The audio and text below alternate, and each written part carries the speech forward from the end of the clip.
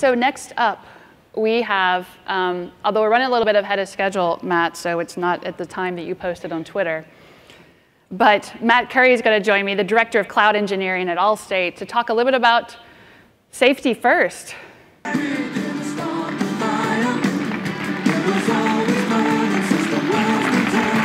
you pick this song? Yeah. How's it going? That's a good song.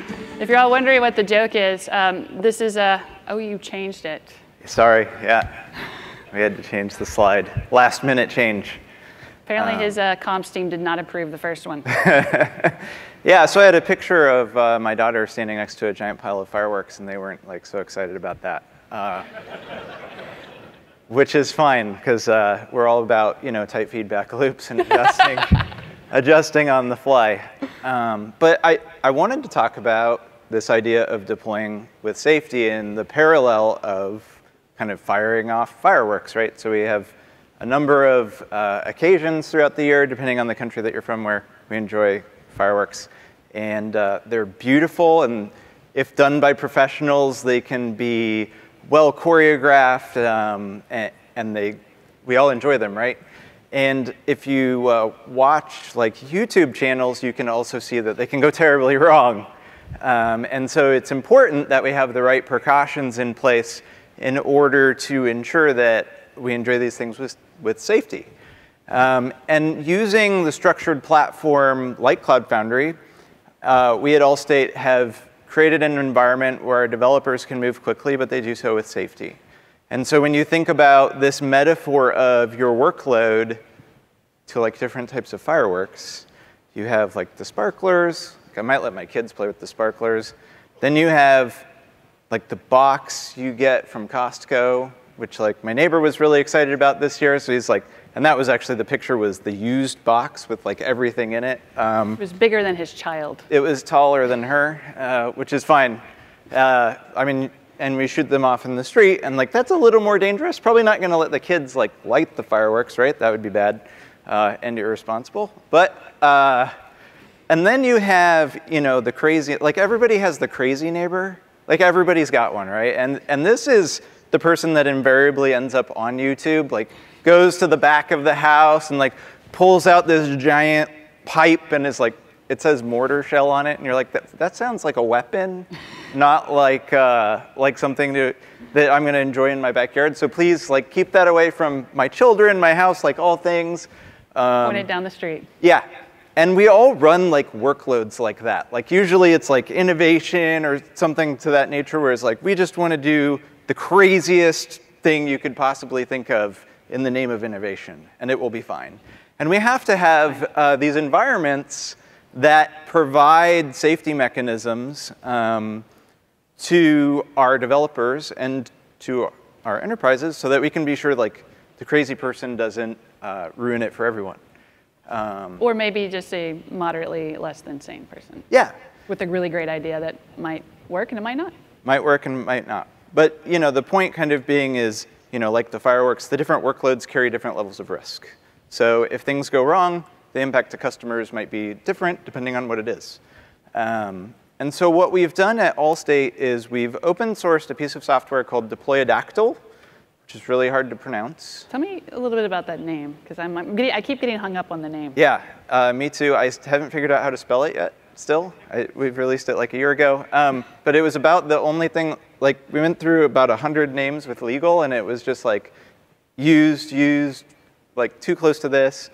And so finally we were like, okay, what are what is the craziest off the wall name we can possibly come up with to get through approval so that we can open source it? Because nobody here has ever done that. Never, Never. I'm sure. Um, and so, so that that's the name, and Andy is going to be talking about that on Friday. Um, so if you want more detail on how we're kind of doing this, uh, this safe environment, um, then you can go check out uh, the details of his sessions, and he's going to talk about Deployadactyl. But the, the core thing is there are certain pieces that need to be in place when our developers deploy to enter, enterprise cloud, right? So for example, we don't want developers making changes in production, or anyone making changes in production for that matter, uh, without a change record. You talk about um, exploding things in the air. Uh, mixed with alcohol. That sounds bad. Like, who needs gravity? It sounds bad. What could possibly go wrong? What could go wrong? You talk about making changes in production without change control. Also sounds bad. Turns out people do both. So we want to ensure that um, in our environment, we have safeguards to make sure um, that our teams are acting, uh, fulfilling their obligations in terms of what we require of them, uh, whether it be audit compliance, regulatory compliance, having artifact traceability. Um, and so we've used uh, Deployadactyl basically as this eventing system that emits events as we deploy to our different Cloud Foundry environments. And what it enables our developers to do is think about, I want to deploy to production, I want to deploy to UAT, I want to deploy to pre-production. And each of those can actually be multiple Cloud Foundry environments. So for example, production runs across multiple regions. We don't really want our developers to have to think about like, I want to deploy to region A and region B and region C because I need that level of redundancy. We just want them to think about, I want to push to prod um, and, and enable them to uh, deal with that at that level of abstraction. Um, and one of the challenges we had when we first created it is as the platform operators and infrastructure folks, we were like, this is great. People will totally want to use this. And uh, our developers were like, I have like 400 lines of Groovy in like a Gradle script. It's fine. Um, it's totally fine. Totally fine.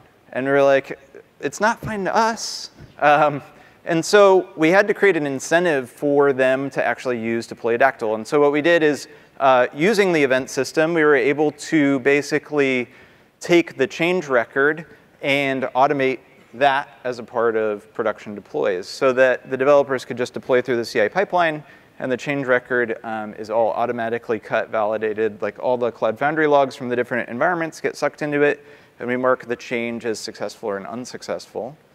Um, Magic. And developers were like, wait, if I use this, I don't have to cut change records? As it turns out, they don't really like doing change records. Who knew? Um, and so uh, that's how we got people to start using it. And then we started attaching additional functions onto that.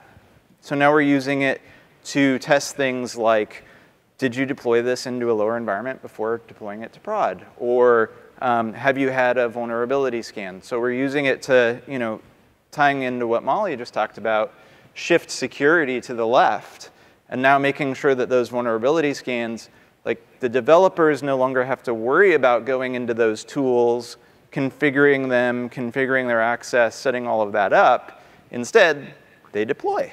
And all of that stuff happens, and then they get a nice little message uh, after the deploy that says, hey, we've submitted this workload for a vulnerability scan. Like if you want to look at the results, then here, here's where you will find them. Um, and it really kind of takes a lot of this toil out of their hands uh, and enables them to move with speed and safety. Safety first. Yeah, so you know, at Allstate, we protect our customers from life's uncertainties. Uh, the way that we can think about this is we're trying to protect our developers from deployment uncertainties or life's uncertainties. Nice uh, tie-in with the, the company brand. I like that. Hey, you know, that's what we're here for.